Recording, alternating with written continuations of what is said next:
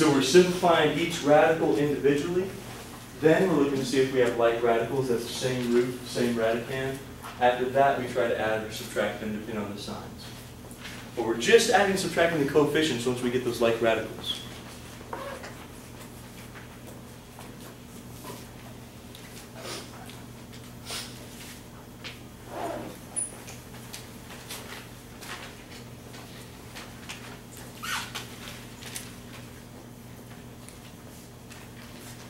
We're going to start on the first one in just a bit. Give about 30 more seconds for the first one.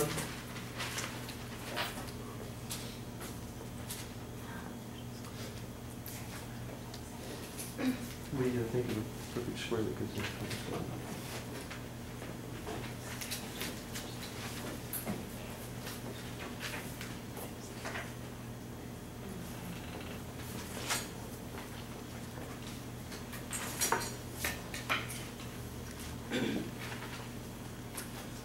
So let's look at our first example up here. Now, what type of roots are we dealing with? Square. Is this common root, is that satisfied for this problem? Oh, they all have, they all have square roots, that's great. So at least we have square roots everywhere. That means potentially we could combine these radicals. If we didn't have square roots, if we had like a square root, a cube root, and like a fourth root, we couldn't do anything with this thing. We wouldn't be able to add those together. You with me on that? Well, okay, so next up, we gotta simplify these because right now, we know we can't add them together or subtract them. We certainly can't take 75x minus 27x. That, that doesn't work at all. We gotta have exactly the same radical, exactly the same radicand to be able to combine these just like we would any other like terms.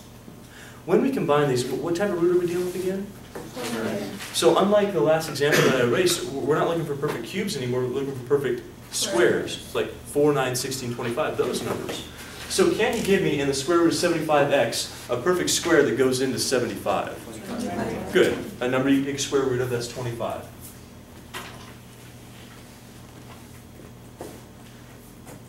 So I know that we got 25 times 3x. How about the x? Can I simplify the x at all? No. Oh, the power is 1, the root is 2, the power is less than the root, we can't do anything with that. So this is, this is much we're going to be able to simplify is at 25.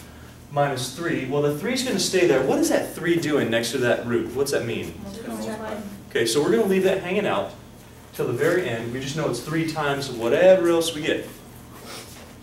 Now the 27x, what number goes into 27 that you can take a square root of? Because we have a square root.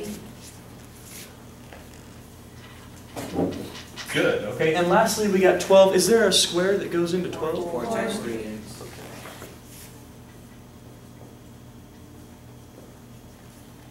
Yeah, the reason why we're doing this, we can take the square root of 25 and 9 and 4. That's going to help us simplify that. Now's a good part, we get to cross this stuff out. So we're going to cross out 25 and put a what, folks? And the 3x, I can't do anything with that. That's not a perfect square. The power's less than the root here, so I'm going to get the square root of 3x. Minus, I do have a 3 out here being multiplied. That 3 is going to be there being multiplied by whatever else I get. Now, the square root of 9 gives you, Three. but again, I get a square root of 3x. Plus, square root of 4, I know that thing's 2.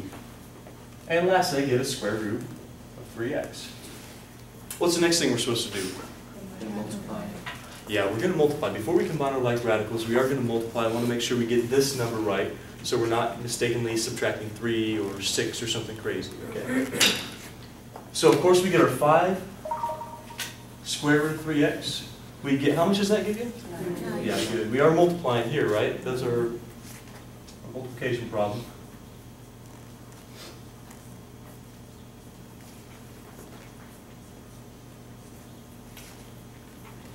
We have 5 square root of 3x minus 9 square root of 3x plus 2 square root of 3x. Can we combine all of them? Yep. Mm-hmm. Notice if we would have got one thing different, like if that was like a 2x or a 5x, we would have been able to combine the first two, but not the last one. We've seen a problem like that in here before, I think yesterday we saw one. How much are you going to get? Negative two.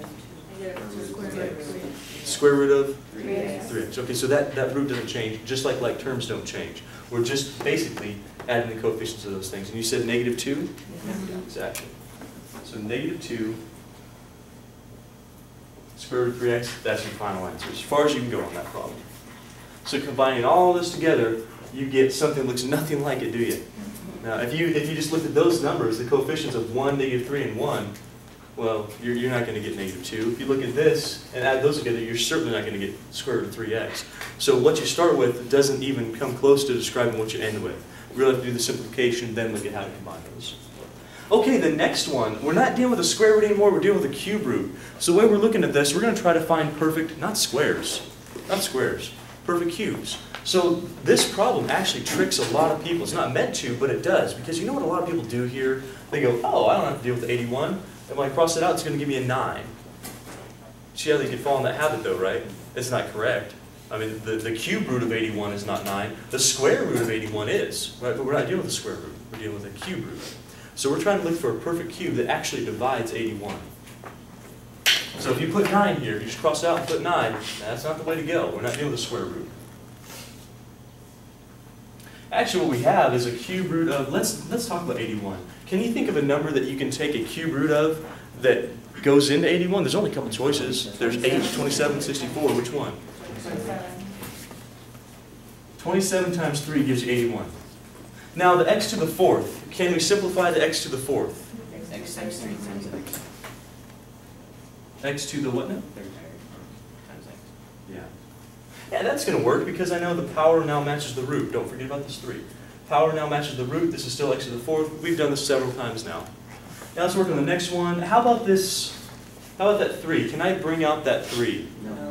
Okay, so there's nothing I can do with that. Cube root of 3 is, I don't know, we're going to leave it. There's not a perfect cube that goes into that number besides 1, and 1 really doesn't help us out at all. x to the fourth, though, we're going to be able to do the same thing. We're going to do x cubed times x.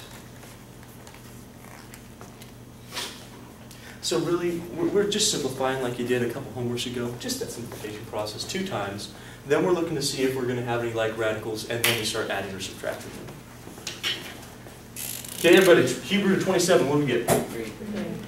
That's going to go outside the radical. Cube root of 3, what do we get? Okay, so I'm going to circle it. Anything I circle stays inside my root. Cube root of x cubed, what do we have? And the cube root of x? Stays inside. Oh, we're going to circle it. Okay. Don't forget that you do in fact have a cube root. You got to have that. What's left inside of my cube root? Three X. That's exactly what we have circled, right? What we couldn't take out, what we couldn't simplify, we leave. Now over here, we have a different situation. We don't have any numbers that can pull out of our root. All we have is a 3, which we can't do anything with. We've got an x cubed, which we can. That gives you an x, but then we have an x which we can't do anything with. So inside of the radical, you have a cube root of 3x again. So we've simplified pretty much two problems in one. We know how to do this pretty well. We know how to do this pretty well. And now we look to see if we can add or subtract these. Can you add those together? Yep. Mm-hmm. Four X. Yeah, we- we have, we have exactly the same thing here. We have the same like terms. We have an x and an x to the first power. Cube root, cube root, 3x, 3x is our radicand. That's identical except for the coefficients. That's what we want to have happen. That's how we combine like terms, or in this case, like radicals. We have a coefficient of 3, we have a coefficient of 1. So when you add those together, you should be getting 4 out of that. So this does count for something.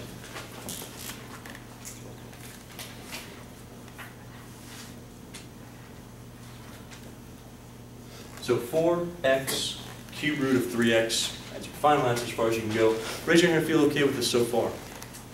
Okay, good, all right. Now, you know I was going to do it to you.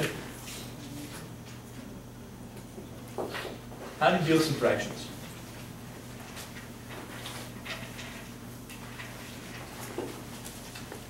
How do you deal with some fractions? Oh my. Can you deal with fractions? Yep. Sure, you, basically you just subtract the fractions, right? What do you need in order to add or subtract fractions? Great, yeah, you, you need one. Now, before you rush off and go ahead and find your common denominator, what I'd like you to do is simplify your radicals first. Okay, this, this is not, this is not the same thing as what we did yesterday where we combined our radicals because there's no radicals on the denominator. Otherwise, that's exactly what we would be doing. Are you with me on that? If you have those two radicals, sure, combine them first. If you don't, in this case we have a radical here, no radical here, we can't combine. There's no, nothing to combine.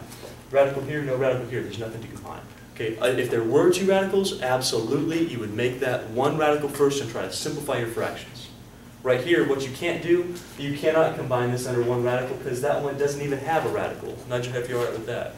So in this case, yeah, we- we're certainly going to simplify these, these roots. Well, this one, we can't, but the square root of 75, we actually did that earlier in this class today. That's going to be, if you think about that, that's 25 times 3, that's 5 root 3. You with me on that? So we're going to simplify that as 5 root 3.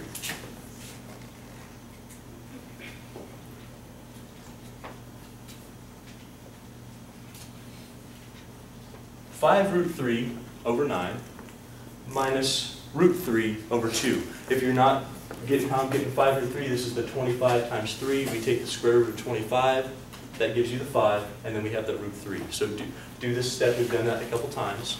Make sure we can get five root three out of that. Am I okay to add or subtract these now? Now you need to find a common denominator. Okay, so let's think on our own. Don't say it out loud, but think of the common denominator you're gonna have. What is the common denominator? Eighteen. Okay.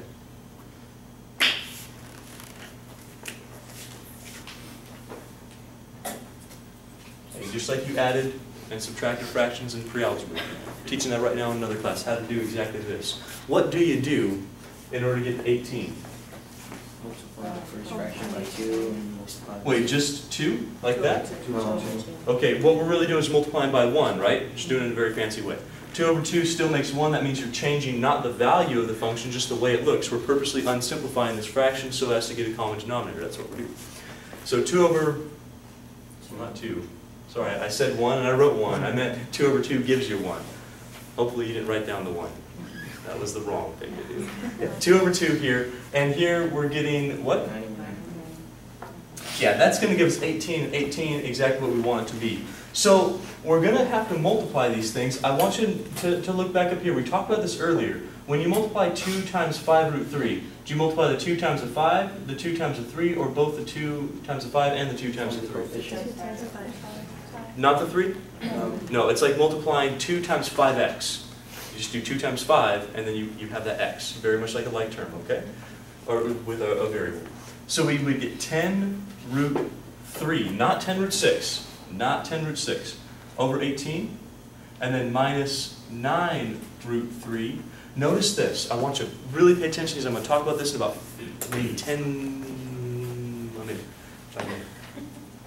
When you're doing the root three times nine, do you notice that we don't get root 27? Do you guys see what I'm talking about?